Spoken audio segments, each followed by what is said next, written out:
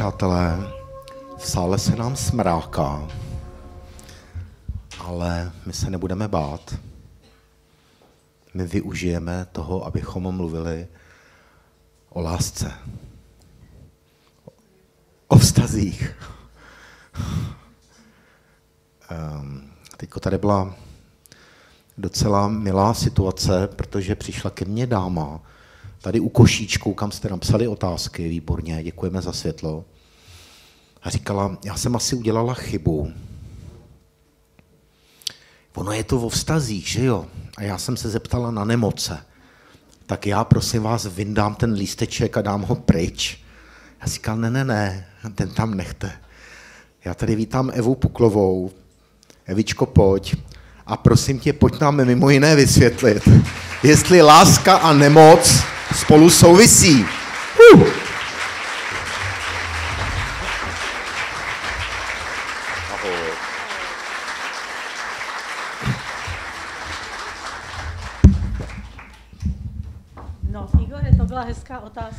To, byl oslý můstek, co? To byl teda ten, ten překvapil všechny, včetně tebe. Já jsem si říkal, nedělej dlouhý úvod, pozvi Evičku co nejdřív. Já budu chvilku u tebe a pak tě tady eventuálně nechám.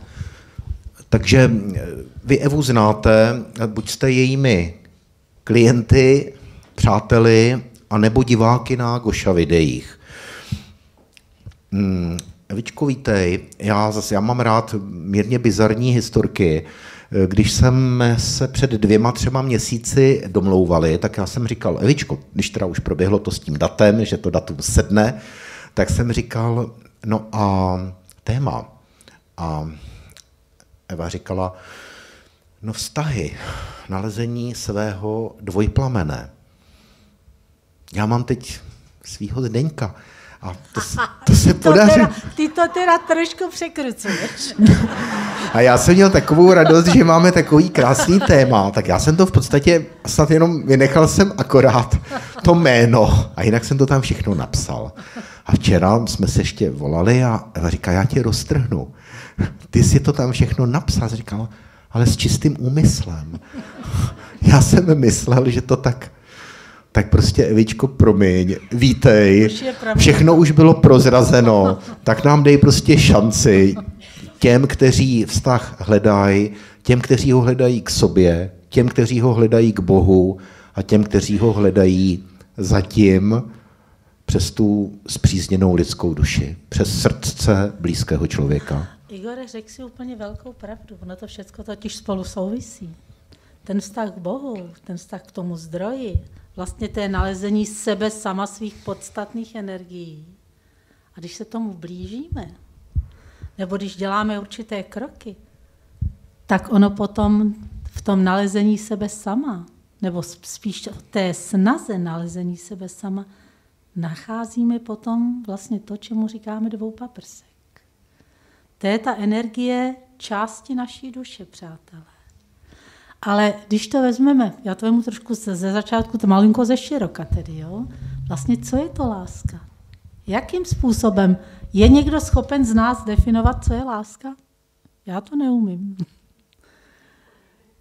Láska, no i bez podmínek, ale co je to láska vůbec? Láska je láska, láska je Bůh, přesně tak. Můžete všichni přidávat. A láska je život. A život je láska. Láska je ta podstatná energie, z níž je úplně všechno upředené. Láska je zdroj. Ta podstatná energie zdroje. Prostě Boha, kosmické inteligence, jedno asi, jak si to kdo nazveme. Ale to je ta absolutní energie, ta její úplná podstata.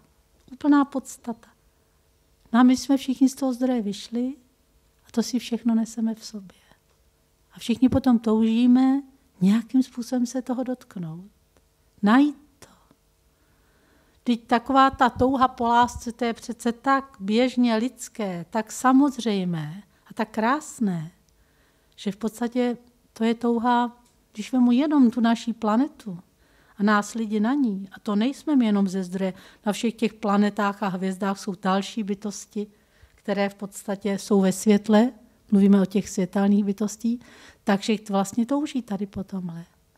No ale protože se tady vyskytujeme na zemi, prožíváme si svoje lidství, pro které jsme si zem přišli, tak najednou prostě se vyskytne taková záležitost, že žijeme ve vztazích, aby jsme se mohli vlastně vůbec lidstvo, aby mohlo postupovat stále dopředu, tak se samozřejmě přirozeně rozmnožujeme. No a ta podstata ale tohle všeho byla dána, aby to bylo v lásce. Aby ta láska těch dvou lidských bytostí, dvou srdcí se promítla do toho, že se narodí další lidská bytost. A tak to zkrátka by mělo jít dál. To je takový to, ta tvorba v lásce. I na té fyzické rovině. A kam se to dostalo a vlastně jaké jsou současné vztahy partnerské, to myslím, že všichni známe ze své praxe, známe to ze svého okolí. No a takže teďka vzniká ta přirozená lidská potřeba a touha být šťastný jako člověk, naplnit vlastně tu svoji lásku. Protože naše srdce je obrovské. Srdce každého člověka je, to je, vy, kteří chodíte na semináře a vás tady vidím veliké množství, tak víte, my tam říkáme, že v srdeční čakře máme krajinu lásky. Krajinu lásky svého srdce. A ta je opravdu nekonečná. Naprosto nekonečná. Úžasná. Je v ní absolutně všecko. Nemá žádná ohraničení. V podstatě nic, absolutně nic nebrání. Či láska je nekonečná. Absolutní a nekonečná. Nemá hranice. A vy sami znáte to, že co se říká, co dáváte, to se vám vrací. To samé je v lásce. Ale to samé je potom i v nelásce samozřejmě. No ale když zůstaneme teda u té lásky, takže vlastně to je ta energie, kterou máme každý ve svém srdci. A teďka tam máme, když nemáme lásku, tak máme touhu. Velikou touhu po té lásce. Je to přirozené. Protože proč tam máme tu touhu, přátelé? Protože my totiž každý v sobě tu vzpomínku, takový ten otisk na to, když jsme zažívali to spojení ve zdroji, kde jsme byli pohromadě, kde jsme byli i s tou částí, která je naší součástí pohromadě, v absolutní čisté lásce, v něze, prostě v těch krásných energiích lásky. A my to si sebou neseme. Je to někde hluboko zasunuté. Hluboko zasunuté ve svém srdci to každý máme, ale máme to tam. A to je to důležité. A vždycky se to potom někdy probouzí. V životě každého člověka se to probouzí. Někdy si člověk říká, aha, už jsem to našel. A potom zjistí třeba, že to není ono. A tak zase si říká, a zažíváme různá zklamání, různé bolesti. No a pak samozřejmě může nastat to, že někdo řekne ne, to já samý zranění, já už to nechci. A jsou lidé, kteří se tímto způsobem učí lásce. A je to, prosím vás, hlavně teďka hovoříme teda o té lásce partnerské. Ale láska není samozřejmě jenom partnerská záležitost. Ale protože vás toto téma tak zaujalo, tak teda si o něm pohovoříme trochu víc. V podstatě potom, když ty lidé jsou příliš zraněni, tak my tomu říkáme, že si vytvoří bloky vůči lásce. Sami si je v sobě vytvoříme, protože se bojíme. My už jsme tolikrát zraněni, že se bojíme, radši, radši žádnou lásku prožívat nechceme, protože co kdyby zacho, zase bychom byli zraněni.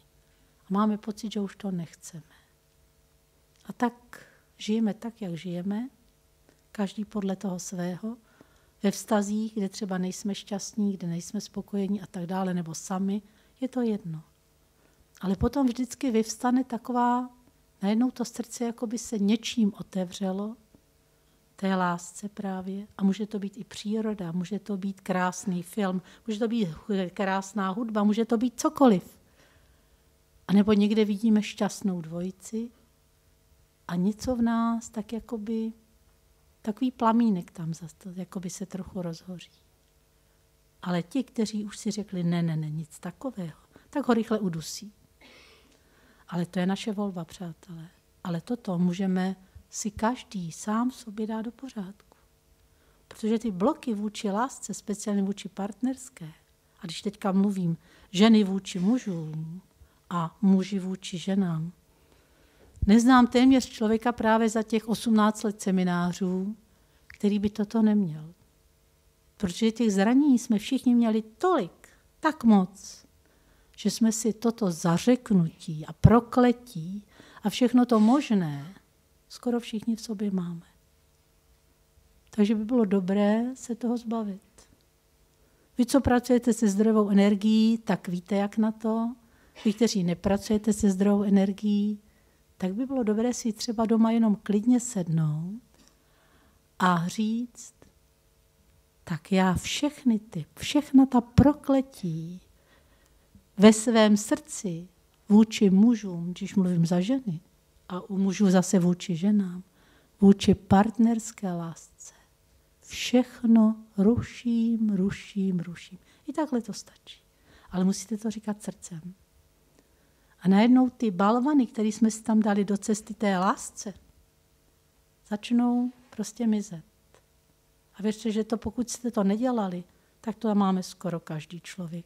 Protože za ty obrovské množství životů, které tady na zemi máme a které v té dualitě žijeme, tak těch zranění každý tam máme spousty. Takže toto je třeba jedna z možností, která nám může pomoci. No a teďka v podstatě, takže co je to láska? Láska je láska, láska je život, láska je poznání. A my právě tak, jak jdeme životem, tak poznáváme.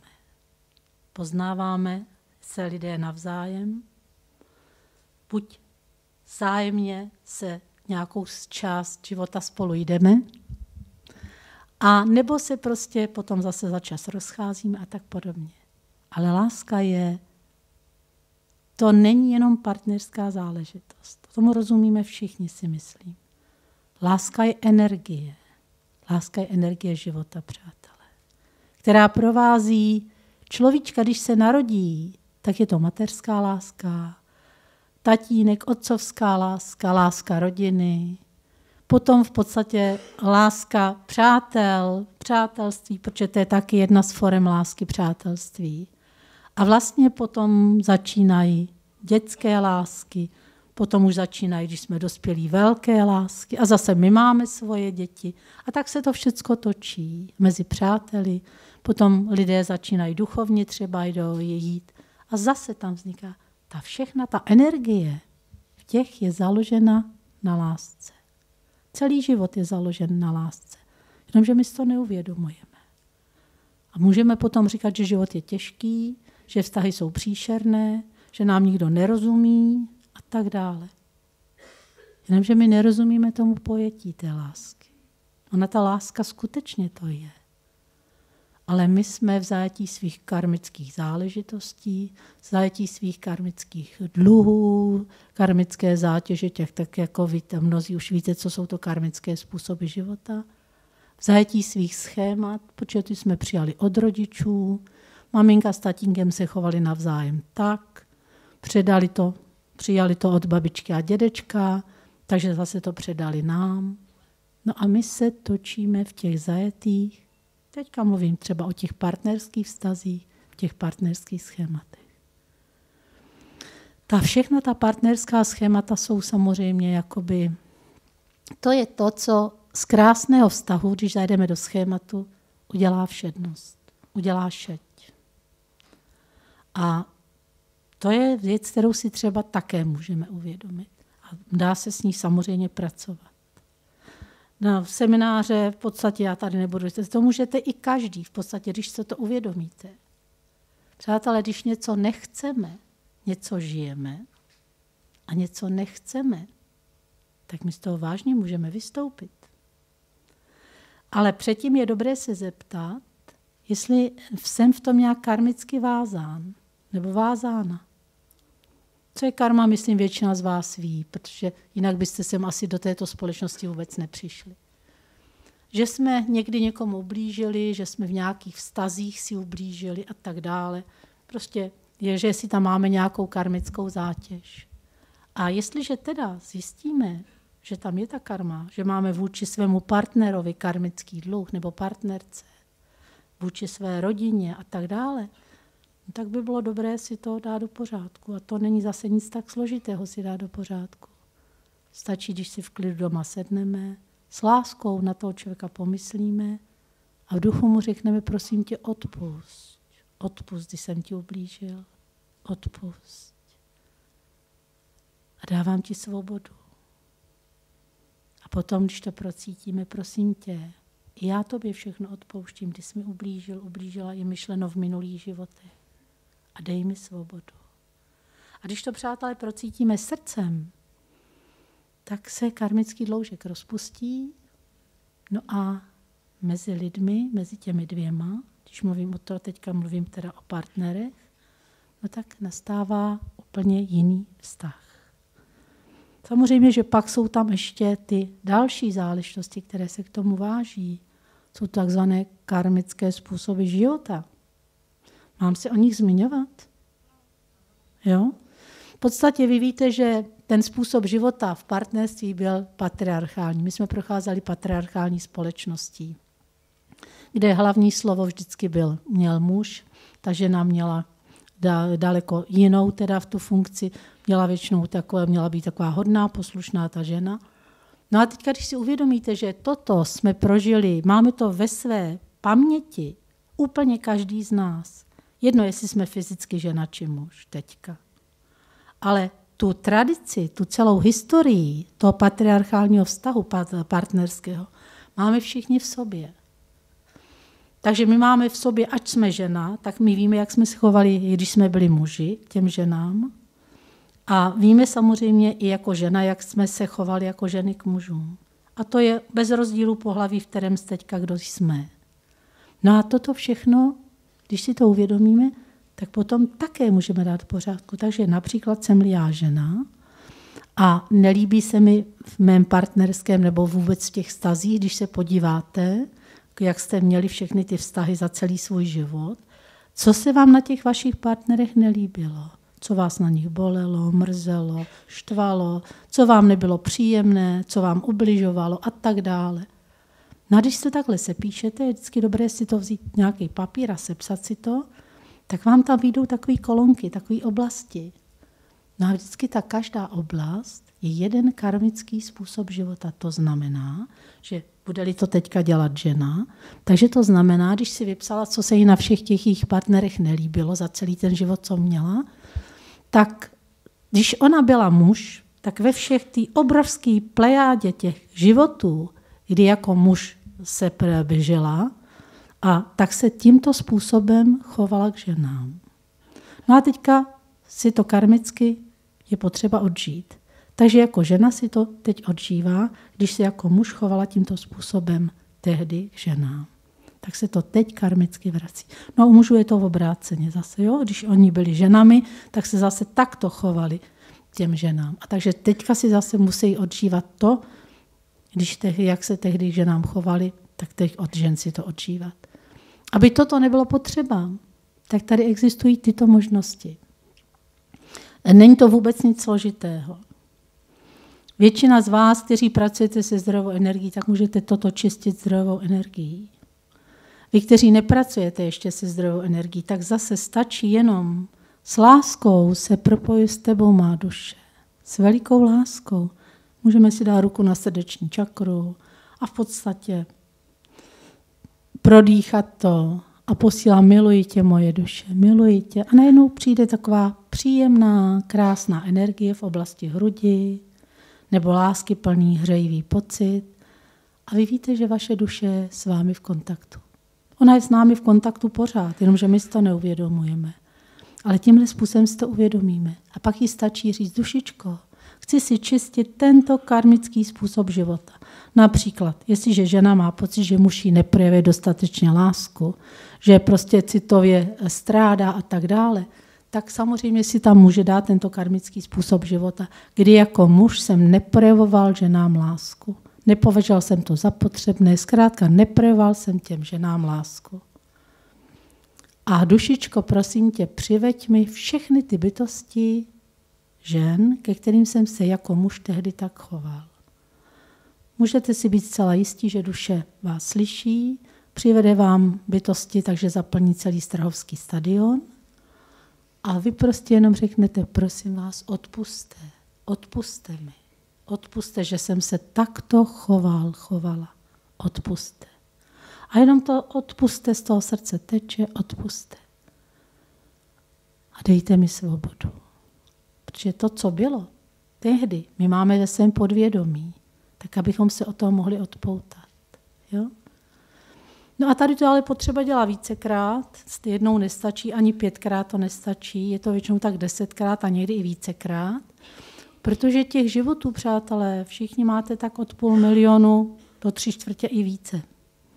A většinou jsme jinou možnost jsme neměli, že jsme se rodili jako muži nebo ženy. A ten patriarchální způsob je tady hodně, hodně, hodně dlouho teda už na této planetě. Jo? Takže toto je jeden ze způsobů, jak si můžeme ty naše partnerské vztahy pomalu dávat do pořádku. No a když toto uděláme, tak potom je to výrazně lepší v těch vztazích, kterých jsme. No a kdo v podstatě třeba ve vztahu není, tak a udělá si toto, tak potom ten vztah, který mu přijde, tak může být výrazně lepší. Takže to je k tomuhle. No a teďka vy se ptáte dobře, kde se tam bere taková záležitost, jako je dvou paprsek? Kde se bere tahle záležitost? Čili toto je záležitost, co jsem teďka povídala. Přátelé, toto si můžeme všichni. Všichni si můžeme zlepšit své vztahy. Já jsem tady to řekla jenom čistě o partnerských vztazích, ale vy si můžete tímto způsobem najítí těch karmických způsobů života, zlepšit třeba své vztahy v rodině, rodič-dítě, ve vztahu rodič-dítě. Když se třeba podíváte vy, jakým způsobem máte-li potíže se svými um, rodičemi, tak jestliže jak se k vám rodiče chovají, například jako k dětem, jak se chovali až do teďka, a vypíšete to zase stejným způsobem, tak vám zase vyjdou určité oblasti. A takže tam zase potom řešíte ten vztah rodič-dítě. Zase stejným způsobem odpust prosím, když jsem se takto jako rodič choval a tak dále. Jo? Takže tímto způsobem si můžete skutečně vyřešit veškeré vztahy. Takhle se řeší tímto způsobem vztahy, jak v partnerství, tak v, ve vztahu rodič-dítě, sourozenecké vztahy, veškeré vztahy, protože vždycky ten druhý vám zrcadlí něco, co my máme, to máte pochopit. Ať je to sourozenec, jestliže máte problémy v sourozeneckém vztahu, to samé. Jestliže váš sourozenec, bratr nebo sestra se k vám chová to, co je vám nepříjemné, ale musíte mít karmický dluh vyčištěný s tou bytostí. To je ještě podmínka, jakoby, jo? Takže i toto si můžete předem udělat, kdo to nevíte. No a potom, když si toto dáte do pořádku, zase najdete si, co se vám na tom člověku nelíbí, to není jeho záležitost. To je všechno je naše záležitost protože on nám pouze zrcadlí to, co my nemáme v pořádku. Takže to jsou veškeré vztahy, které máte, nadřízený, podřízený v práci. Úplná klasika. Takže tímto způsobem si také můžete dát do pořádku. Jo? Mezi přáteli vztahy a tak dále. Mezi kolegy, na pracovišti, kdekoliv. Prostě vztahy, ve vztazích, v kterých my žijeme a to, co se nám nelíbí v těch vztazích, tak když tuto, tento princip pochopíme, tak si toto můžeme úžasným způsobem, ale opravdu přátelé úžasným způsobem dát do pořádku. Protože v tom je ta podstata. Protože stále platí ta jedna jediná myšlenka, že vnější svět nám pouze ukazuje, v jakém stavu je náš vnitřní svět, čili naše nitro. Nikdy ne v obráceně. A když mi to na tom, protože na tom vnějším světě jsme schopni to pochopit, tím pádem potom můžeme tímto způsobem si dávat své věci do pořádku. No a na základě toho se ten vnější svět nám mění. Ti lidé, s kterými my jsme dříve měli problémy, nebyli jsme schopni s nimi žít, prostě byli jsme v emocích a tak dále, tak najednou toto mizí, dává se toto do pořádku, no a máme lepší život jako lidé. Pak je tam ještě záležitost těch tří kroků, takzvaně mnozí to také už znáte, ale to je většinou práce se zdrojou energií, tak to je vy, kteří s ní už pracujete, tak toto asi znáte. Takže když si dáte, co se týče jakéhokoliv vztahu, když si dáte do pořádku, aby tam nebyl karmický dluh, aby tam nebyl karmický způsob života a ty tři kroky, tak pak už neznám nic, co by v nějakém vztahu, který máte, mohlo být nepříjemné. Tak a teď se teda vrátíme zase k tomu partnerskému vztahu. Takže já věřím, že tady máte určitě dostatek otázek k tomu, ale co to teda je ten dvojplamínek nebo dvojpaprsek? Přátelé, je to moc krásné, ten dvoupaprsek potkat, zažít a tak dále. A můžu vám říct, že se to začíná trošku šířit lavinovitě. Už tady se Zděnkem nejsme žádná velká výjimka, protože už se to začíná opravdu krásně šířit. Jo? O čem to je, přátelé? Tak jak jsme si právě tady, jak jsem povídala o té karmické zátěži, o tom životě, kde prostě máme ta různá schémata, kde máme různé, odžíváme si ty karmické způsoby života, odžíváme si svoji karmu a tak dále. Takže toto všechno, to je obrovské poznání pro nás, pro lidi, přirozeně. Krásné ob- z hlediska duše. Duše, protože je to, přátelé, vždycky obrovské poznání. Něco, pro co jsem šla, duše to má, to je obrovský poklad z hlediska duše. Z hlediska člověka to žít, to už my jsme mnohokrát jako poklad nenazvali, teda, jo? protože je to těžké, problematické, bolestné, emoce v tom lítají a tak dále. Ale v podstatě z hlediska je to to poznání, pro které jsme sem přišli. No a my si každý teda procházíme těmi svými karmickými cykly, tím život, těmi životy, jak je tady máme. A co se učíme? Učíme se pochopit sami sebe, učíme se pochopit život, učíme se pochopit své emoce. A hlavně se svými emocemi pracovat, se svým egem pracovat. A teďka záleží na tom, jak nám to jde. Někomu to jde velice dobře a někomu to jde méně dobře. No a teďka v tomto začíná, přátelé, jestliže se dostáváme do stavu, kdy začínáme ten, tomu životu více rozumět, začínáme ho více chápat a začínáme ho přijímat. Protože jestliže něco budeme, ale to vám určitě neříkám žádnou novinku, to většina z vás už určitě ví, jestliže něco v životě budeme odmítat, odstrkovat od sebe, tak prostě ono to na nás počká až to do té doby, dokud to nepřijmeme. To myslím o tom, že už asi není ani potřeba hovořit, to myslím, že už všichni víte. Že veškerou negaci svého života, všechno, co nás se týká, všechno, co jsme kdy nehezkého provedli, co si vzpomínáme, kde jsme ublížili, prostě cokoliv, absolutně cokoliv, i svoje strachy ale také, i svoje emoce. Když je budeme odmítat, tak oni budou trpělivě čekat, až je přijmeme. Že teprve, až je přijmeme, tak s nimi můžeme něco dělat. Bez přijetí. Oni tam furt budou čekat. Jako za dveřma budou za nás čekat. Zkrátka tak to je. No a když toto tedy pochopíme a skutečně přijímáme sami sebe se vším, naprosto se vším, co k nám patří, s tím lásky plným a pozitivním, což není problém, ale se vším tím nelásky plným, se všemi těmi strachy, těmi zhněvy, zlobou a vším prostě, co, jak se ty naše emoce kolikrát projevují. Když toto dokážeme přijmout, ještě s tím třeba neumím dělat, ale vím, že to ke mně patří a tak to přijímám. Už tohle je obrovský krok upředu. Jo? Takže v určité fázi tady tohohle našeho vývoje, tohoto našeho poznání, prostě při té cestě žijeme ve vztazích. Rodíme se do určitých rodin, které si vybíráme, to už asi většina z vás ví, že si vybíráme své rodiče sami. A potom se setkáváme s bytostmi, kterými se setkat karmicky potřebujeme, takže se setkáváme se svými láskami, se svými partnery, zjistíme, že jsou to většinou karmické vazby, tak si je čistíme a tak dále. Vůbec neznamená to, že bychom, když žijeme v nějakém karmickém partnerství, nemohli z toho dojít k poznání a nemohlo by z toho být nádherný, krásný vztah, když toto všechno dáme do pořádku. Je, já si myslím, že, a vy určitě se mnou asi v tomhle budete souhlasit, že to, abychom si dali do pořádku své vztahy, tu možnost a schopnost máme každý. Pokud to nebudeme přehazovat na toho druhého. Protože to, jaký je můj vztah, je moje záležitost, ne záležitost toho druhého. Jestliže to, tom, jak jsme tady hovořili teďka, karmický dluh, karmický způsob života a tak dále, jestliže s tímto budeme pracovat, tak ten vztah se jednoznačně mění. A to je to důležité.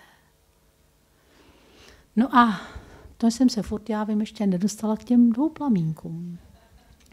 Takže žijeme toto všecko a v určité fázi svého vývoje něco pochopíme, uvědomíme si. Uvědomíme si všechno toto, oč jsme tady si povídali. Nechci říct, že tam že je nějaká ještě velká lidská moudrost, to zase třeba nemusí vůbec být, ale je tam pochopení toho života a přijímání ho. A pak, to ví jenom naše duše, vám přivede do života člověka, s kterým nádherně souzníte. Rozumíte si. A je to souznění opravdu jakoby na té hluboké vnitřní úrovni, na úrovni duše. Takže vy jako lidé, když se sejdete, tak najednou to cítíte, že tam je něco hlubšího. Že tam ti dva lidé spolu souzní, že ani nemusíte třeba moc promluvit a rozumíte si, že v podstatě je tam něco, co těžko třeba vyjádříte slovy, ale ono to tam zkrátka někde v hloubi je.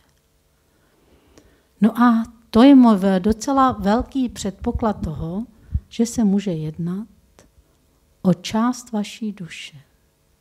Protože ten dvoupaprsek, ten dvouplamen, to přátelé není nic jiného, než část vaší duše. Ta, jestliže jste žena, tak jste jin, jinová část a máte svoji jangovou část. To je ten dvoupaprsek. A teďka je velká možnost, že se můžete v tomto životě setkat. Proč v tomto životě? A nebo proč ne jindy? Je to proto, že kdybyste se setkali dříve a žili v těch emocích a v tímhle vším, tak díky v tomu rytmu, že v schématu života, v kterém jsme byli, bychom i tento vztah dokázali si zničit. Docela úspěšně bychom si ho dokázali zničit. Takže až v určité fázi nějakého vlastního vývoje, kdy prostě už trochu nějak ten život bereme z nadhledu, s takovým pochopením a tak dále, a po, po, řekla bych i docela slušné práci na sobě, tak přichází to, že můžete takovou tu bytost potkat.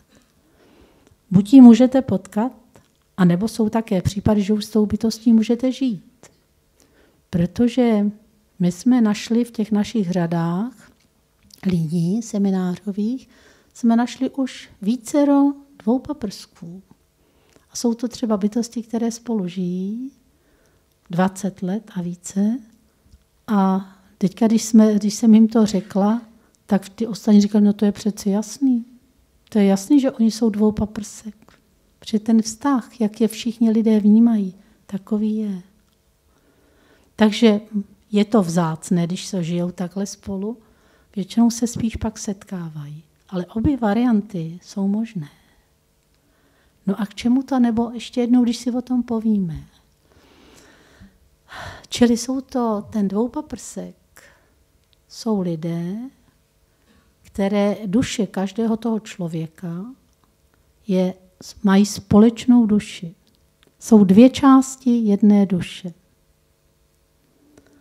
A když se tady tohle většinou, jak se tito lidé to dozví? Buď je jim to řečeno, nebo to prostě žijí, pokud jsou to ty případy, které spolu už jsou třeba delší dobu. No a nebo se potkají a najednou tam nastává tady to porozumění. Ani to není porozumění, to je souznění. Hluboké vnitřní souznění dvou lidských bytostí. To je v podstatě souznění na veškerých úrovních, jaké vůbec člověk zažívá. A je to velice krásné tady tohle. Protože tady, no, jak Igor tady tohle povídal, když jsme si povídali, tak jak když jsme si povídali po tom telefonu a já jsem mu to říkala, tak určitě byste se asi zeptali, jak to vypadalo u nás. Já nevím, jestli potom Zděnek bude chtět mluvit, ale v podstatě v určité fázi, potom, když už jsme věděli, že jsme teda ten dvoupaprsek, tak v určité fázi přišla taková od zdroje, nebo od Ježíše, já už ani nevím, od koho to bylo, protože ta komunikace s těmito bytostmi je potom jako docela jako je přirozená, je normální, tak přišla taková krásná pohádka. Tenkrát mi to přišlo pohádka o dvou srdcích. Podstatě dvě srdce byly spolu, právě bylo tomto absolutní souznění, byla tam harmonie, klid, mír, obrovská tvořivost, obrovská inspirace vzájemná a tak dále. A ty bytosti spolu vyšly ze zdroje. Ty dvě srdce spolu vyšly ze zdroje. A potom v určité době, někteří víte, jak máme tu to schéma toho veškerenstva stvoření, jak je prostě zdroj, pak je těch lem jednoty a tak dále, jak, aby jsme si trošku nějakým způsobem naučili tu určitou takovou tu strukturu veškerenstva stvoření, tak v té určité fázi toho lemu jednoty, v druhém nebo v třetí úrovni toho lemu jednoty, když jsme vyšli, si tehle dvě srdce řekla, že se rozejdou. Že se rozejdou, aby každé ta duše, čili srdce nebo ta duše, to je jedno, aby každá získala své vlastní poznání, kterými potřebuje projít. A že až se opravdu ty, každá ta duše to svoje poznání získá, takže se setkají. No a samozřejmě, že ještě, když jsme vycházeli z toho zdroje, tak každá ta duše měla svoje poslání, s kterým šla z toho zdroje. Svůj úkol takový, který si ona sama dala. A teďka se v téhle fázi, v tom druhé úrovni toho lemu jednoty, ty duše řekli, že se rozejdou, aby to poznání každý, každá ta duše získala do maxima možného. A tak prostě šli, šli a teďka šli. No a potom se setkali, setkali se tady na zemi. Setkali se, když došli určitého poznání v lidství, pochopili, co je to lidství, všechny ty energie, které s lidstvím jsou spojené, všechny ty emoce a tak dále. Neříkám, že prosím vás, neberte to, jako že by tam nebylo co poznávat, to v žádném případě ne. Jo? Ale prostě do určité nějaký to pemzum prostě ty dušičky zpracovaly. No a nastal čas toho poznání. A když vám řeknu třeba u nás dvou, to bylo takové až trošku zvláštní, protože Zdeněk přišel na seminář, Zdenku, jak je to před dvěma, rok a půl, víte to. Do ve velkých losinách, ale pojď to říct sám. Pojď to říct, pojď. Že to chcete od něj slyšet.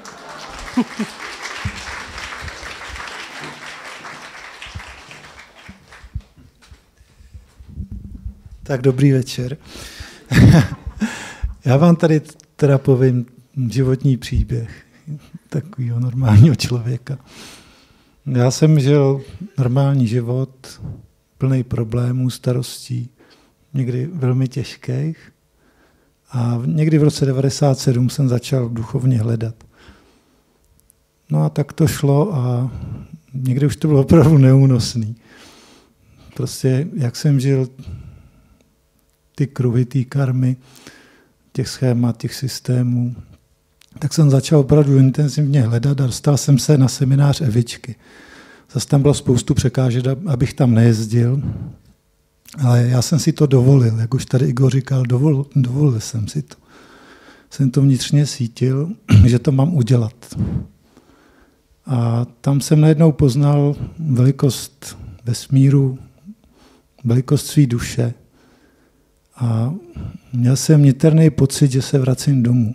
Já se v životě tolik nenabrečel jako na tom semináři. Ale byla to obrovský vnitřní prostě pocit, že se vracím domů. No, pak jsem začal na pyramidy, jsme jeli na semináře a začal hlavně, člověk dostal do rukou nástroje, jak s tou karmou zacházet a ten chlívek si vyklidit. A v životě vznikal prostor pro něco nového. Už nebyl člověk tak pod tlakem těch schémat, té karmy, který vlastně je nám nastavený a my ho žijeme. My žijeme, já vám budu říkat i mm, různá pochopení, které jsem na té cestě prožil. Prostě my žijeme vlastně stažení v kruhu v těch svých emocích, schématech. A tam není nikde prostor pro to, aby vzniklo něco nového. Tam jsou ty naše strachy, obavy. Je to ještě tím systémem uměle udržovaný. No, tak tohle jsem takhle žil, ale postupně jsem tu karmu rozvazoval a dovoloval jsem si. Hlavně jsem si dovolil vždycky podle toho srdce něco udělat. No a pak, a pak jsem chodil, ještě choď jsem chodil pracovat do lesa tam mi přišlo taková od Ježíše, že máme Zajevičkou a že máme spolu být a že spolu máme poslání. Do té doby, jestli dovolíš, do té doby jsme v podstatě vůbec nic nevěděli o sobě. Zděnek byl normální účastník semináře, já jsem prostě ten seminář jako tak, jak probíhal jako každý jiný. I když tam určité sympatie mohly, byly na obou stranách, ale ani jeden jsme si je nedovolil projevit. No. A já jsem neposlouchal, tak mi tekla týden krev z nosu.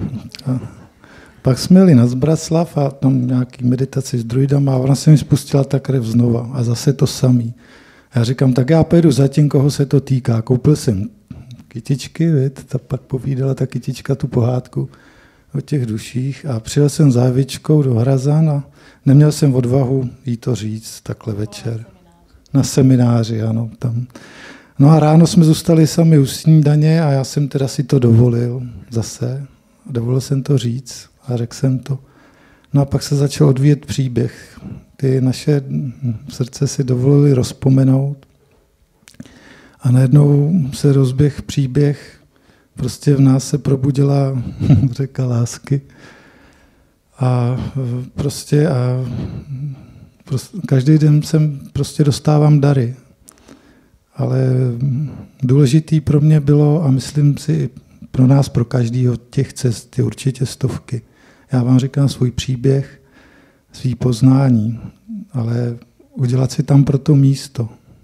A to místo si uděláte, když něco ze sebou děláte, to za vás nikdo neudělá. A pak tam může vzniknout něco krásného, třeba přijít ten dvoupaprsek. No. A mm, když už jsem teda u toho poznání, tak jak jsme mluvili o tom tlaku, co je tady na nás ze všech stran vyvíjen. Jednak je to ta, ta, ta, ta karma, že jo, schémata, jednak ten systém kolem nás, který funguje tak jsme vlastně přišli na to, že jsme uzavřeni v takových kruzích.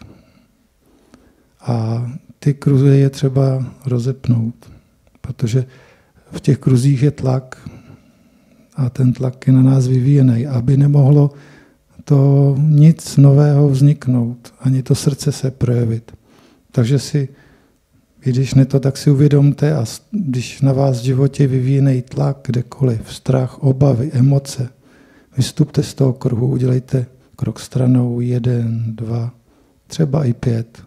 Až to jako poleví, dovolte si to. A najde se vám řešení. A když už umíte trochu cítit tím srdcem, do toho dejte to srdce. A uvidíte, protože vy tomu dáte prostor, aby tam mohlo vzniknout něco lepšího, nového. Když tomu pomůžete prací na sobě, tak třeba potkáte do paprsek. No. Ale takhle to, takhle to bylo. No. Evičko? Takže kdybyste se chtěli ptát Zinka, prosím vás, jsme tady oba dva. Uh, takže v podstatě pak se normálně rozvíjí takový příběh. Každý ten dvoupaprsek má svoje poslání. Nám bylo řečeno, my známe svoje poslání, ale v průběhu to, zatím to bylo první, jakoby se zatím všichni lidi vlastně touží po tomto najítí své části, své duše. Když jsme žena yin, tak hledáme to, tu yang energii a obráceně zase muži hledají tu jinovou energii. Ale v podstatě toto všechno je možné. Toto všechno je možné, pokud budeme na sobě pracovat. Protože, přátelé, pro mnoho z vás je možná tato inkarnace poslední, pozemská, fyzická. A právě v těch posledních pozemských inkarnacích je to, nechci říct běžné, ale dost to bude časté, že se tyto dvou paprsky budou takhle setkávat, aby mohli to, co zde mají, ještě pro druhé udělat, protože to vždycky, to není pro ně záležitost. To poslání je na pomoc druhým vždycky. Jo? Je to šíření lásky, ale na pomoc druhým dalším bytostem tady na zemi lidem. A takže v podstatě vy můžete tímto způsobem se se svým dvoupaprskem setkat také. No a my v podstatě, jak jsem říkala na těch seminářích, zatím už jsme našli kolikátej, pět jich bylo, viď? No. A určitě budou další, protože toto je lodička. Toto je teprve začátek. A věřím, že jich bude víc. Až se sejde 12 dvou paprsků, tak bude velké setkání dvou paprsků a bude vyplyne z toho nějaký společný úkol. Takže zkuste se potom podívat. No, no a teďka, co z vás by ještě zajímalo tady tohle? Když už jsme se tohoto tématu dotkli.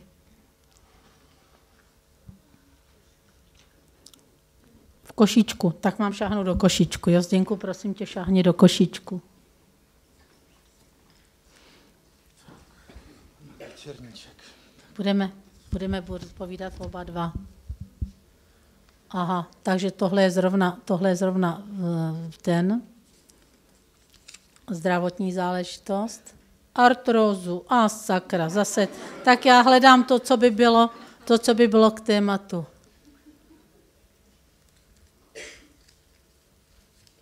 Jak se, brát, jak se zbavit neustálých strachů o své dítě? Prosím vás, to je hezká otázka. Myslím, že i když je od věci, teda od toho tématu, ale vůbec to nevadí. Jestliže tam je potřeba, jestliže někdo má takto extrémní strach, ať je to o partnera, o děti nebo o kolik, tak má ve své paměti z těch minulých inkarnací, my tomu říkáme inkarnační zkušenost, že o tohoto partnera nebo o to dítě přišel a klade si vinu. A proto je tam nějakým způsobem neustále přítomný ten strach z toho podvědomí, který proniká i do tohohle života, tak jak to prožíváme. Jo? Takže pokud tady na tohle teda odpovídám, tam je prosím vás potřeba set, požádat duši, prosím tě, jestli je tam nějaká konkrétní záležitost, kterou bych si měl uvědomit nebo měla uvědomit, přiveď mi dušičko. A je dobré být v meditaci samozřejmě přitom a duše vám přivede tu nějakou tu inkarnační zkušenost, to znamená z minulého života to, co se tam stalo. Vy to buď uvidíte, nebo to alespoň procítíte. Procítění můžeme každý člověk procítit. Někdo nevidí, ale procítujeme všichni úplně. Jo? Takže až tam ta, situace přijde, takže jestliže jsme něco zavinili, že třeba to dítě zemřelo někomu nebo nám, my jsme to zavinili, tak žádáme za odpuštění. Nebo jestliže jsme, někdo nám něco způsobil, tak mu odpouštíme zase. Jo? A potom to zahalíme láskou a celou tu situaci přijmeme. To je, když je některá konkrétní záležitost z některých našich životů tak silná, tak se ji potřebujeme tímto způsobem dotknout. Jinak potom, jak se zbavit těch svých neustálých strachů o dítě? Uvědomte si, že děti, že každá bytost má své anděly. A teďka si představte, že vy nemůžete to svoje dítě ochránit, tak protože my nevíme, co ho čeká, neznáme, tak, tak dále. Zkusme se obrátit na anděli, na svo, přes, buď přes svoje anděli, na anděli toho našeho dítěte a požádat, prosím, ochraňte to moje dítě. Ochraňte. A předejte klidně tuto zodpovědnost za tu ochranu jim. Oni rádi přijmou. Protože stejně vy nemůžete vědět, co karmicky si to vaše dítě jako člověk má prožít. A pokud ten, ta bytost nebude karmicky se sebou pracovat, tak v podstatě vy můžete požádat, i pokud by to byla karmická věc, kterou si má projít, prosím, ať to projde nejjemnějším způsobem. O to požádat můžete, jako rodič třeba za své dítě, nebo vzhledem partner k partnerce nebo obráceně. To můžete. A věřte tomu, že když předáte této své strachy těm andělům té bytosti, o kterou máte strach, tak vám se uleví a uděláte to nejlepší, co udělat díky svým strachům můžete. Pak samozřejmě potom ještě existuje samotná práce s našimi strachy. Ale to je trošku kapitola jako sama o sobě. To bychom se, když tak, tohle jsou věci, které řešíme na seminářích a tak dále. To tady, proto to by bylo moc dlouhé povídání a to bych tady jsme se moc zdrželi. Jo? Takže aspoň takhle. Co tam je dál? Prosím vás, dá se alespoň trochu odhadnout, jak v průměru v dnešní době trvá fyzické spojení se svým dvojplamenem? Aha, to je zajímavý. To si musím, to si musím ještě přečíst jedno, abych tomu porozuměla. Prosím vás, dá se alespoň trochu odhadnout, jak v průměru v dnešní době trvá fyzické spojení se svým dvojplamenem? Teď, jak jste to přečetla, tak mi došlo, že to asi může být i špatně pochopené. Já tím myslím, než dojde k tomu fyzickému spojení, protože všichni víme, nebo kdo se o to zajímá, že to není hned tak jak to bývá třeba v karmických vztazích, že se dva potkají a hned do sebe většinou zapadnou. Ano. Takže někdy to může trvat, já nevím, 5, 10, 20 let, i takže, ale v dnešní době pravděpodobně to trvá jako mnohem kratší dobu. Tak Rozumím. to je ta otázka takhle myšlená. Ty chceš odpovědět? Eh, prosím vás, jako tak, než tomu dojde, když jste na to připravení, to podstatné je, když jste na to připraveni, na to, na to setkání. Protože to setkání, to si neurčujeme my. To vám určuje vaše duše. Jako člověk si to neurčujeme my. To setkání těch dvou paprsků nebo dvou plamenů, to, si, to bychom si přáli všichni přirozeně. Ale to určuje duše, když ví, že ten fyzický člověk už nezv, takzvaně nepokazí ten vztah. A nebo aspoň ne příliš. Ale tím nechci prosím vás říct, že by ve vztahu těchto dvou bytostí, těch, toho dvou paprsku, bylo všecko absolutní a toto vůbec není pravda. Tam běžně řešíme, jak ať se vyskytne jakákoliv maličkost, tak si řekl, jak já třeba říkám Zdenkovi, ale tohle, mě se, já cítím tady tohle. A hnedka se na to díváme a duchovně to dáváme do pořádku. A on to samé. Tam je potřeba právě, to je ta úžasná záležitost, že ti dva lidé hned ty věci, které se jim vyskytnou, že je řeší. Jo? Tam není o to, že by byli dokonalí. Tady to není o dokonalosti. Tady je to o lidství. No, takže v tady tohle, čili když se vrátím k tomuhle, tak tam záleží na tom, a samozřejmě potom, když se ty dva lidé potkají a jsou tím dvou paprskem, no tak já z naší zkušenosti, ta není zas tak dlouhá, abych byla upřímná, ale měla by to být jakoby z toho, proč se ty dvě bytosti setkaly, proč se kdysi rozešly a zase znovu setkali, by to mělo být trvalé spojení. Aspoň to dává takhle tu logiku. A vzhledem k tomu, že máme dva páry zatím mezi námi, kteří spolu už žijí, už těch mají, mají už dospělé děti a ten jejich vztah je nesmírně krásný a je to ten dvoupaprsek, tak oni sami říkají, ale nám je spolu úplně nejlíp. Nám prostě, ať jsme, a jsou to lidé společenští, nejsou to vůbec jako nějaký ty samotáři, tak oni říkají, my když jsme spolu, tak se cítíme úplně nejlíp. My opravdu spolu souzníme a mají přes 20 let děti. Takže, takže to, věřím, že to asi takhle bude fungovat. Takže další, jaká, jaký je moudrý pohled na vnější situaci v Evropě. Aha, uprchlíci, jak dlouho ještě šel Jo, to je pro Igora. Jak dlouho jste šel s svatojakubskou pouť? Aha. Moudrý pohled na vnější situaci v Evropě. No, přátelé, tady se dostáváme do trochu jiného tématu tedy, protože tady se musíme dotknout chtě nechtě tomu, co se teďka na planetě děje. Jak tady Zděnek hovořil o těch kruzích, které nás svírají, jak eh, v podstatě, a nemůžeme se z toho dostat, tak podobně, jo. Eh, samozřejmě, že něco je naše karma, karmická zátěž nás lidí a tak karmické způsoby života.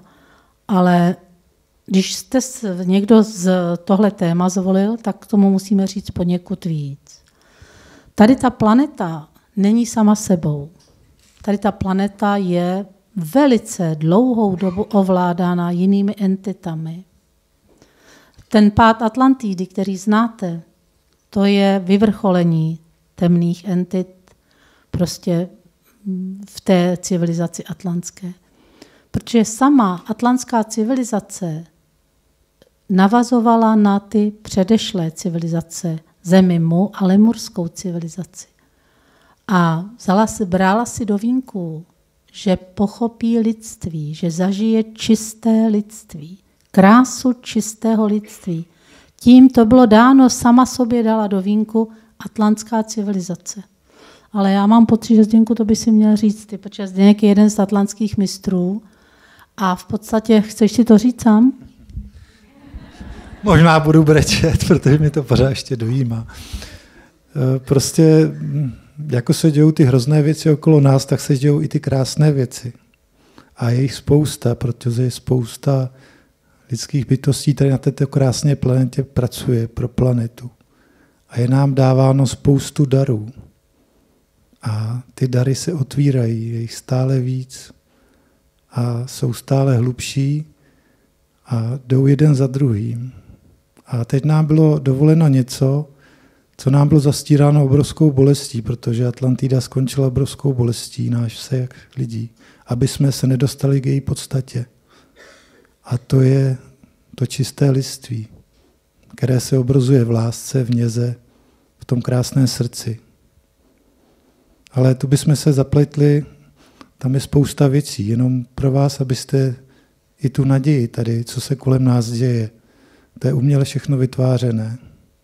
Vše lidi začnou chápat. Bylo umožněno udělat spoustu kroků, aby lidé pochopili. Igor tady říkal řeka života. Jeden z atlantských symbolů je cesta. Cesta života. Říkejte tomu, jak chcete. Je to řeka srdce, které každý tady cítíte. A bylo dovoleno uvolnit spousta věcí a udělali se ty kroky, aby ty lidská srdce se otevřela. A vy podvědomě s tím budete souznět. Začnete chápat věci, kolem které vás se dějí. Začnete chápat z jiné úhlu pohledu. Začnete s tím souznět. Vaše srdce vás povedou. Dejte, dovolte si to, jít podle srdce. Dovolte, dejte prostor těm vašim srdcím. To je ta řeka života, to je ta řeka srdce. Každý to srdce máte. Takže to je, myslím, taková ta lepší zpráva. Toto, co se teď děje, to je zase ten záměr držet nás v, těch strach, v, těch, v tom strachu, v těch obavách, všechno zhutnit. Ustupte stranou a dejte prostor svému srdci. Pravda se za chvíli ukáže. Lidi prozří a budou vidět, co za vším je. Jenom trochu času. Je to tak, jak říkáme. V podstatě země je opravdu velice dlouhodobě okupována temnými entitami. A protože toto je konec, dalo se říct po roce 12, 2012, když se má na zemi probouzí nové vědomí, vědomí právě k tomuto lidství, tak teďka tyto temné entity nechtějí tu zemi pustit. Ale přátelé, naše síla srdce je mnohem silnější. A proto je dobré vždycky, když vás přepadne strach, je jedno, jestli vezmeme tady ty uprchlíky nebo islámský stát, zatím stojí tyto temné entity. To jsou ty v podstatě ty, který tady tohle tím způsobem způsobují. Jo? Tady to, co my vnímáme pod tím, tím proudem těch utečenců a tak dále, pod pojmem islámského státu. ale ta síla lidských srdcí je opravdu větší. Ty temné entity mohou si působit tak, jak oni chtějí, protože jejich síla je konečná. Opravdu je konečná. To bylo také řečeno absolutním zdrojem, že síla temných entit je konečná. Ale síla lidského srdce je nekonečná. Naprosto nekonečná. Takže jestliže chcete se na to dívat, jak chcete, jestliže, když teda už to řeknu jenom jednoduchým způsobem, ti lidé, prosím vás hlavně, berte veškeré zprávy z médií, berte přes srdce.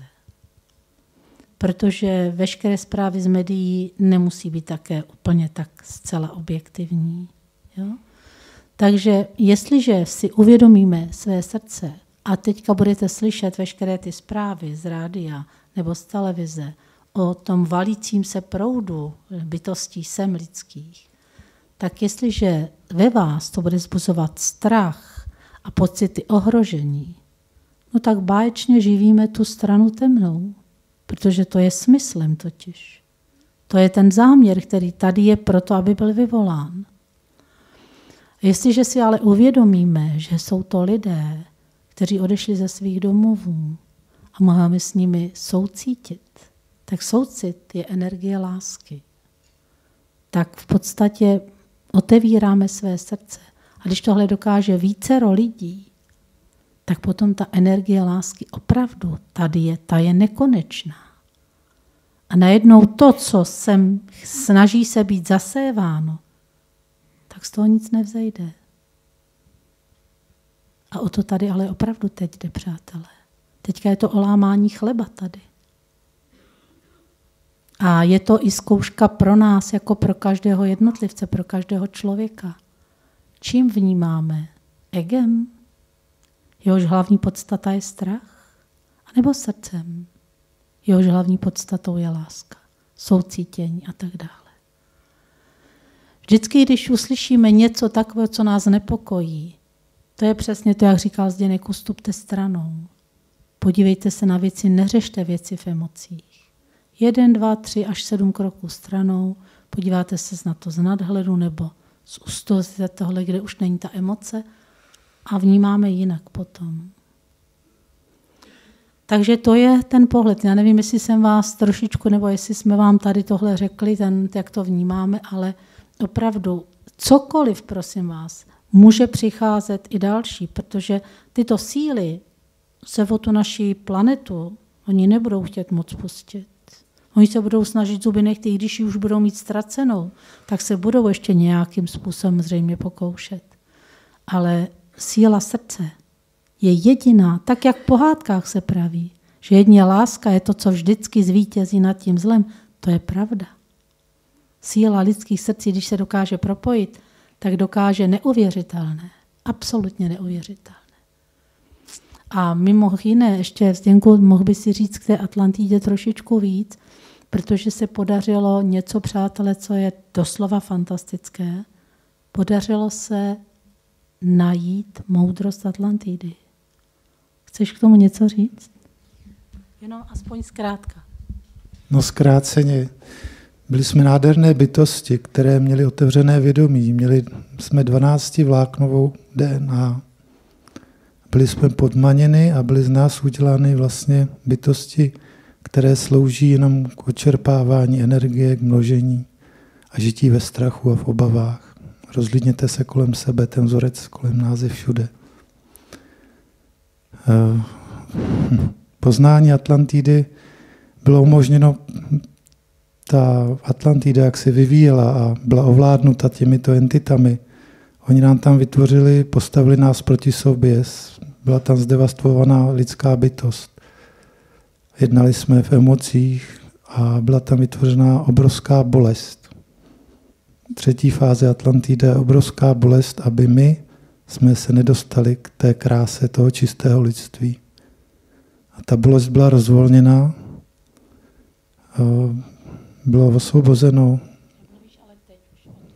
Teď už mluvím o Atlantidě a atlantských mistrech. Byli osvobozeni atlantští mistři, kteří byli taky vlastně uvězněni v Gize.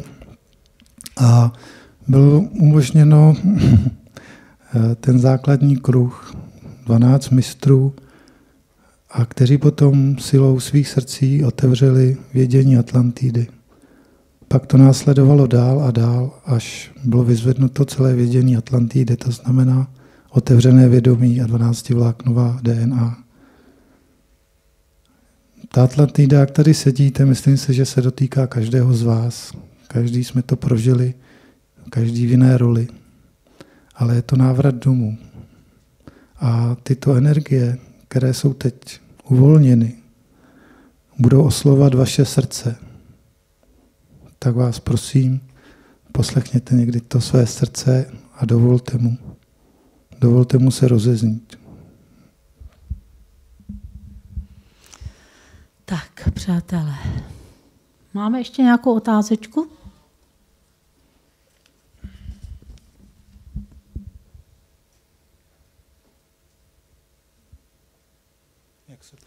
Jakým způsobem poznat dvou paprsek?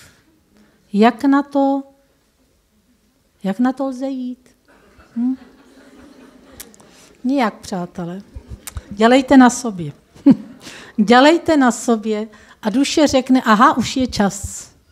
A pak vám přijde do cesty váš dvoupaprsek.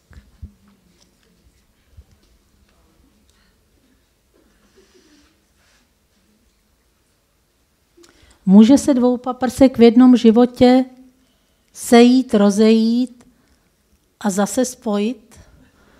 Může.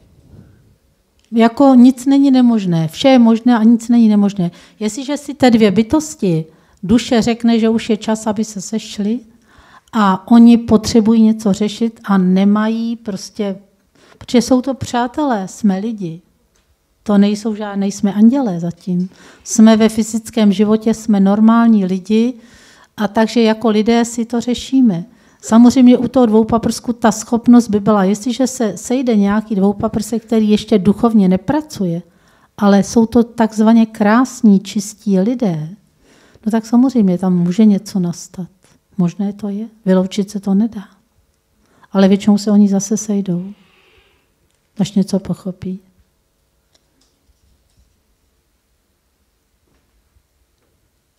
Přečteš to? Přečteš to? Jak zjistit, kam mám v životě zamířit? Jo, to je hezká otázka. Jak zjistit, kam mám v životě zamířit? Přátelé, na tohle vám poví vaše duše.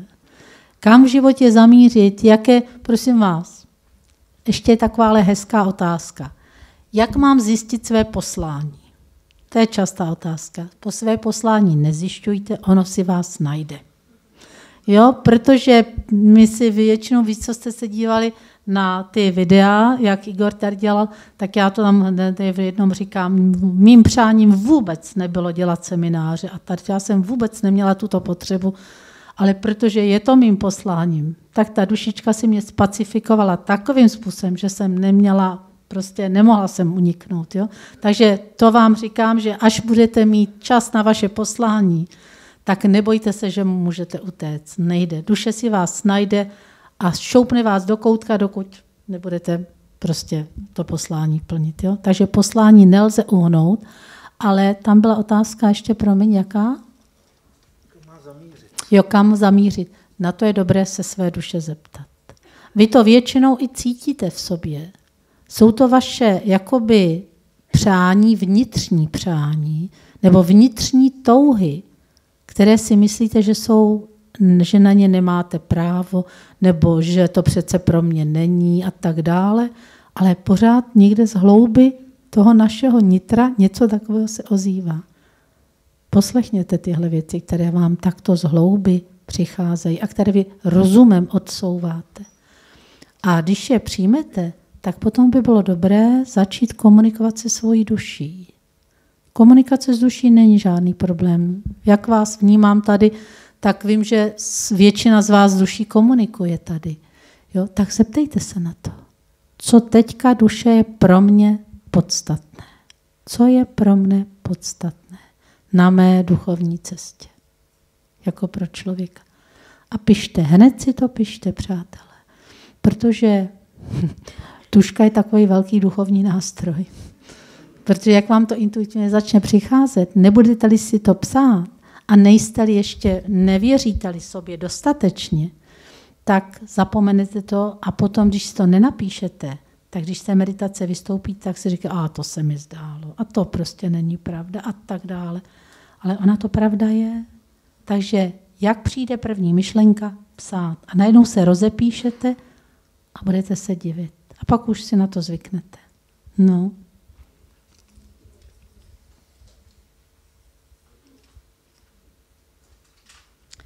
Hezká otázka. Potřebovala bych se citově odpoutat od člověka, kterého jsem milovala, ale náš vztah skončil.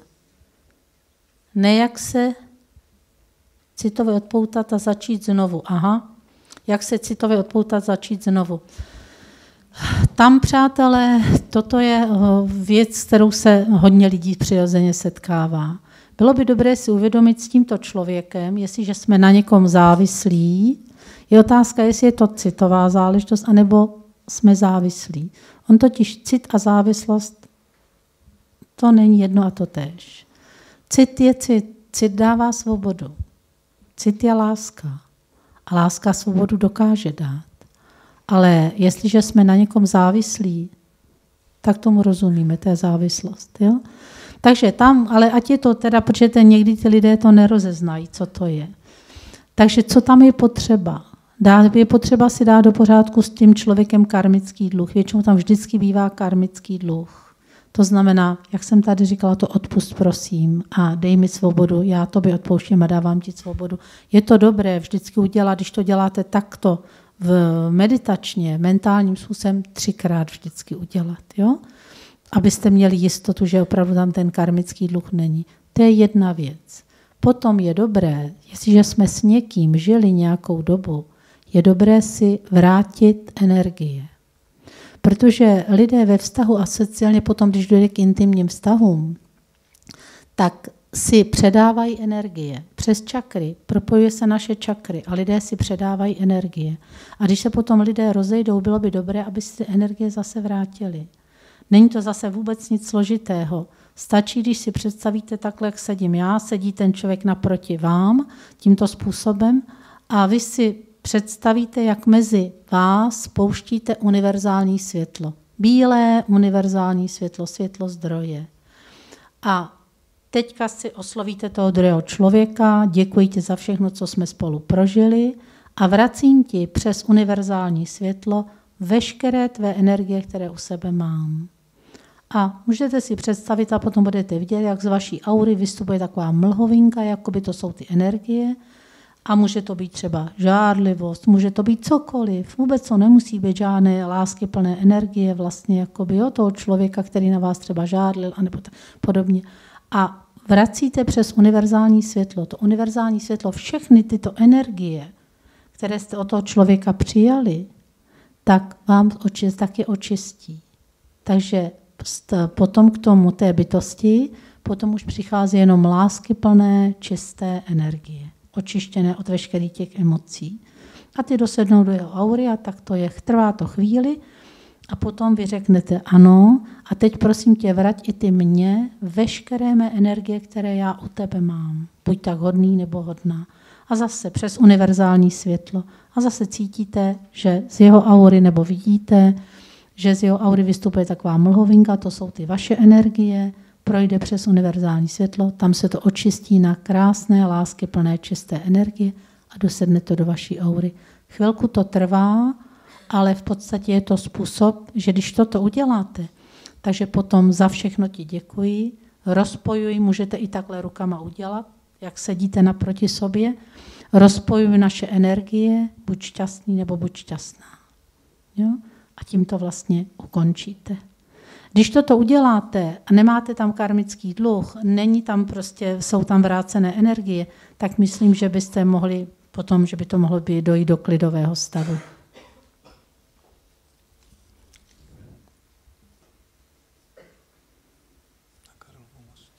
Na Karlově mostě je prý jedno energetické místo. Je to pravda? Pokud ano, kde to místo je a jak se tato energie projevuje? No tak to byste spíš měli říct vy mě, přátelé, protože na Karlově mostě těch energií je dost. Kde, kdo, kdo, jako jestli chcete někdo povědět, kde to místo je, tak není problém se tam napojit.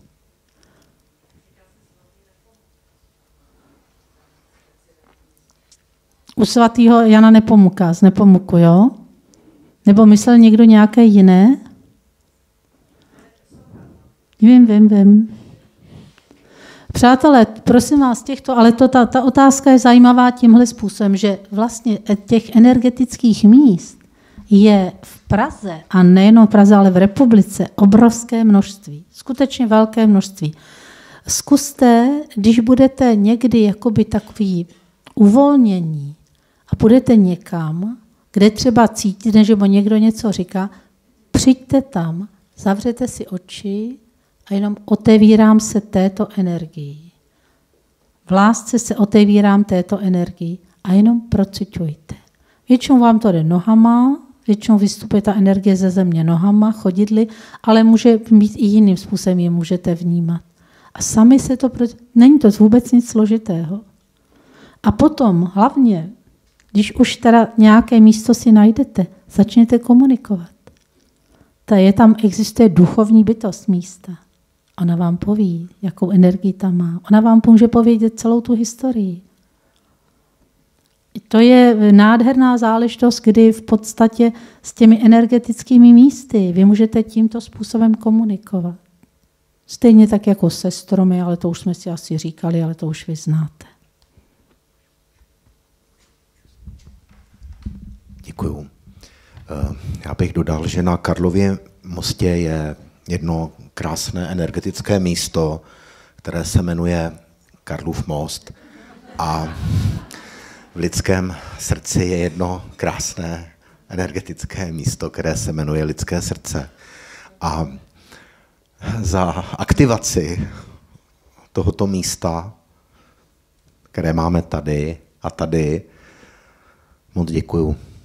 Moc děkuju.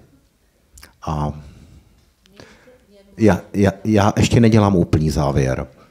Já chci jenom ještě eh, velmi poděkovat Zdeňkovi. Ty asi nejsi zvyklý hovořit k 230 lidem, anebo ano, moc poděkování, protože ten osobní příběh je vždy nejsilnější. To vím i jako člověk, i jako dokumentarista.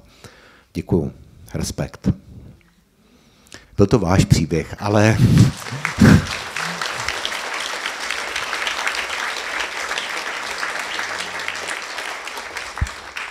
Já pak budu mít ještě poslední otázku, ale cítím, že máš, Evičko, ještě něco na jazyku, tak než ji vyslovím, vracíme mikrofon. Přátelé, my vám chceme něco předat. Něco, co jsme dostali a chceme vám to předat. Uh, já tady nechci rozbalovat žádné velké téma, ještě znovu. Vy, kteří chodíte na semináře, tak víte, že existuje Jangová země, na níž my žijeme, existuje ještě v Jinovém trojpramení Jinová země, kde už proběhla tato, všecko to, co prožíváme my, tak tam už to proběhlo, ty lidé jsou už ve světelné fázi, světelné lidství a tyto obě země, jak Jinová, tak Jangová, obě maminky země, spolu úžasným způsobem komunikují, spolupracují. Spolupracují na nebevzetí mistři, spolupracují archandělé, stvořitelé a tak dále. Je tam nesmírně krásná, láskyplná spolupráce. A právě z této jinové země jsme dostali obrovský proud čisté energie a je to řeka něhy. A my bychom vám ji teďka se Zděnkem rádi předali. Takže kdo chcete, tak se prosím vás zavřete, sedněte si v klidu, zavřete si očička, protože tím se samozřejmě to lépe vnímá. Uvědomme si jenom svoji srdeční čakru. Třikrát se hlouběji lehce prodechneme v srdeční čakře.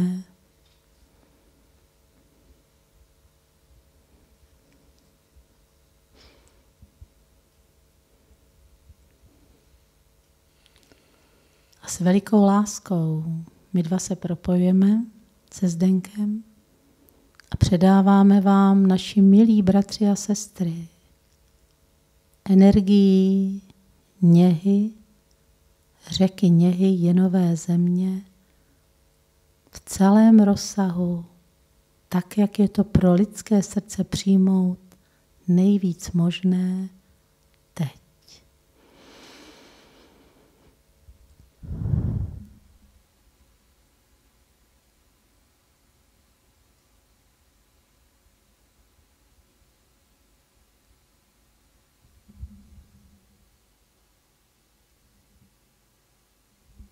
Jenom prosím přijmejte nic víc.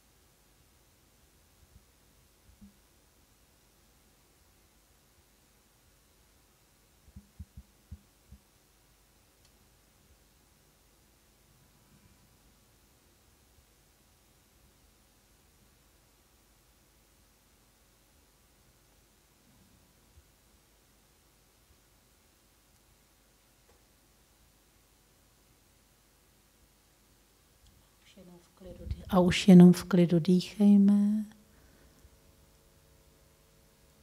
Jestli chcete, nechte si očička chvilku ještě zavřená, nebo si je otevřte, jak budete chtít.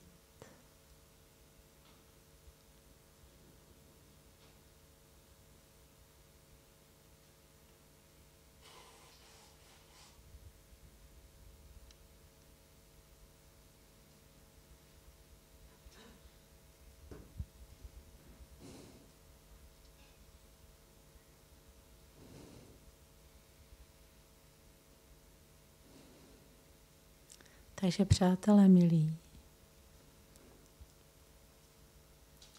pokud jste tuto energii cítili, tak je to báječné. Pokud ne, tak ještě trošku potom zapracujete na svém srdci, aby se dokázalo víc otevřít.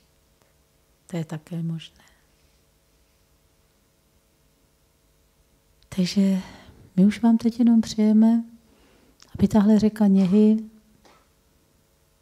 těch našich srdcích zůstala, je doba adventu, tak aby zůstala až do toho štědrého dne, aby ta láska těch našich srdcí se mohla navzájem ta naše srdce obejmout.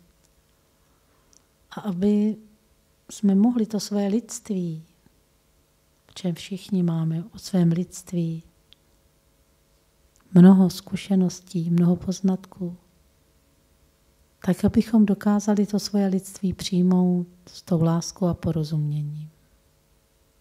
Abychom dokázali v této době být k sobě laskaví, vlídní, protože, jak víme, co dáváme, to se nám vrací. A zkuste se někdy podívat do očí svých dětí, nebo pokud jste partneři, tak navzájem. V očích je veliký poklad. A když vydržíte se dívat do svých očí, budete se divit, jaké věci vám přijdou. Protože oči jsou opravdu brána do duše. A tam potom duše spolu začínají hovořit. Takže ať je vám všem dobře.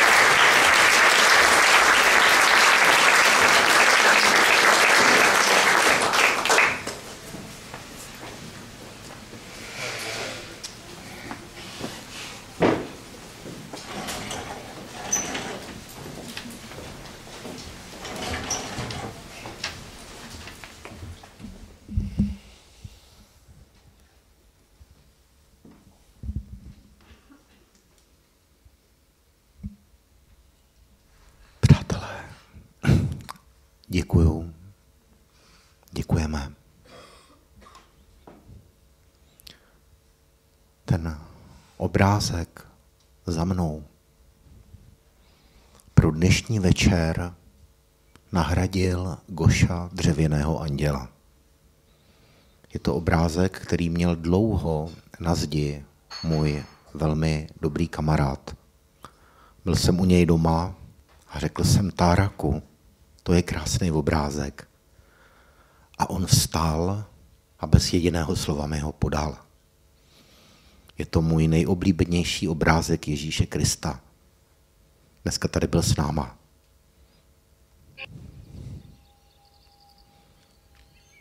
Se srdce děkuju. Děkuju za dnešní setkání. Děkuju.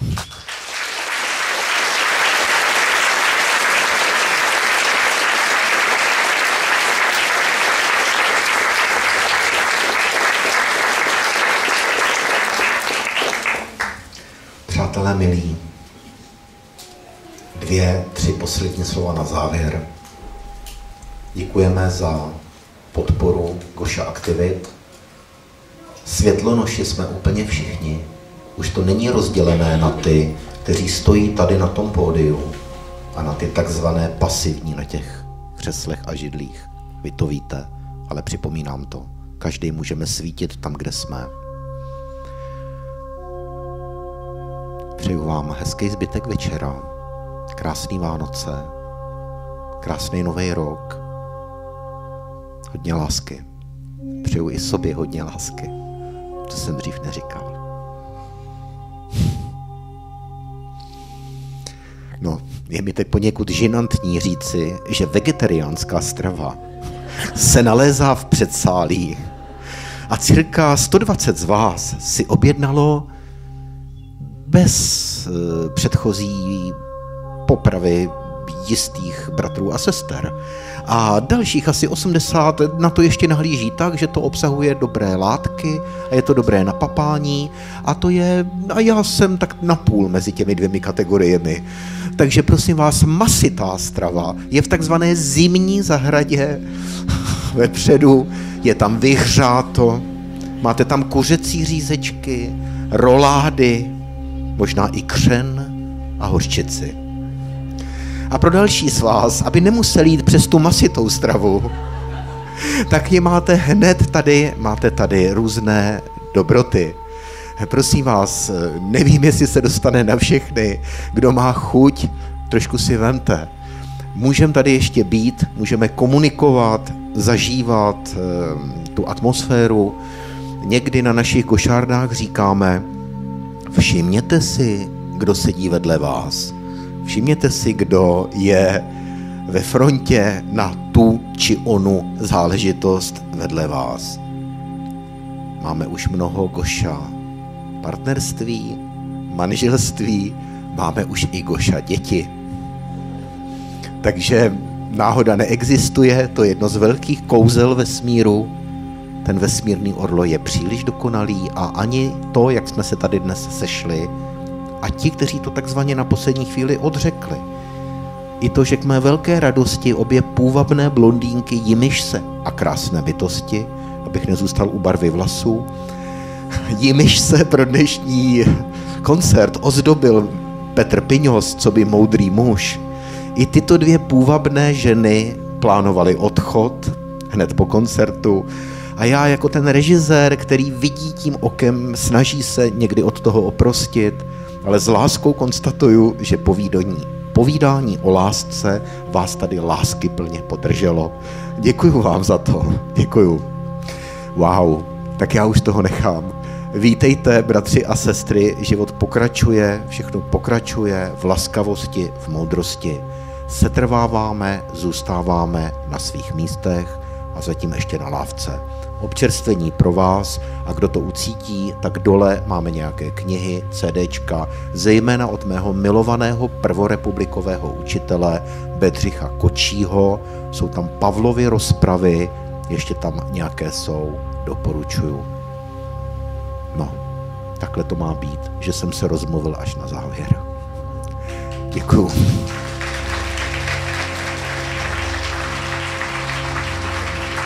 Pojďte ještě jednou ke mně, Evičko, já to cítím. Pojďte ještě, pojďte Petře, pojďte taky ještě ke mně, pojďte, poprosím. Uh.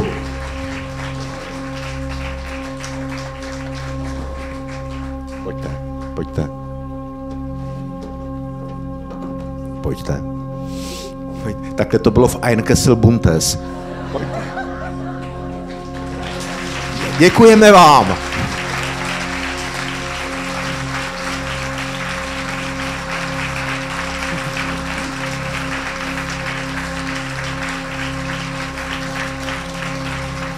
Víte, víte, jaký je rozdíl mezi námi a vámi? Že my už jsme to nevydrželi. My už prostě o tom musíme mluvit nahlas nebo zpívat. A teď jste na řadě vy. Štafeta lidského rodu.